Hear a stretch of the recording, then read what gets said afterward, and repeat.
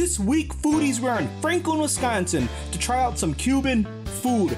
And I hear this intimate cafe dishes out some awesome food, and your boy, he's here to try it out. My friends, this is Havana Cafe. So I'm here this week at Havana Cafe, compact, cozy cafe. Got the menu up there, and you can order at the counter. And I'm, I'm, I'm back with the homeboy. We're out here, we're trying new things, we're branching out. I'm really excited to be here. I've, I've been dying for something something good like this. This is I'm pumped. I'm pumped. Speaking of the gates. Man, so we got our food. Homeboy here got a Cuban.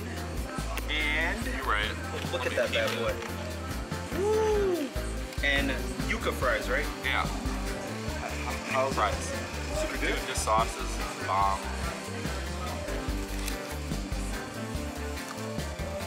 Dude, it tastes just like potatoes. It's so good. Bam. That bad boy there. That's something else, dude. Look at that. Woo! Peep that. Oh, and I ordered their uh, tropical chicken.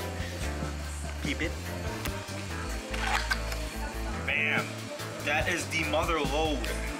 And I got a uh, pork empanada right here. Look at that. Oh boy. So here we go. This this chicken really looks amazingly tender. Bam, look at that.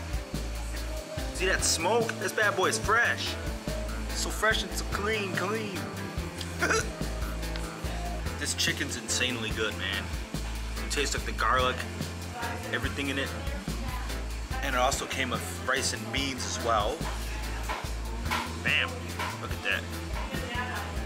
Ooh, that rice is good. It's definitely wild rice. It's awesome. And beans aren't overcooked. The rice has tons of flavor. It, it- it's like a grenade being thrown. So much flavor just coming out between the chicken and that rice and beans. Awesome. Just look at this with the rice, man. Look at all that. Incredible. A lot of different flavors. Beans, rice. Literal fire. Steaming. Literally on fire. As I mentioned earlier, I got a pork empanada. Look at this. The handiwork on this. Woo. Oh, Look at the pork, man. Dude, I can already tell this is hot. I'm gonna give like a minute or two to cool off. I'm just whooping my hands and again. Bam! Look at that. Boom. Bam. Look, look, look at the chest. Bam. Patrick, I think it's like the mother loaf. Yeah. Look at the sandwich. Ham, pork, pickles, mustard. It's like Swiss cheese. I'm a monster. I'm eating this monster. This empanada is incredible. The pork is so tender. You, you saw when I broke it apart, all the juice from it. Incredible. And I love the actual empanada itself. It's crunchy, it's texture. Bam. I am now living in the year 3022 because I, I just combined the chicken and the rice and beans. Mind blowing. I, I am doing a number on this. This is a bunch of food. It wasn't even that expensive. It's only 14 bucks. Empanada's four. Bam.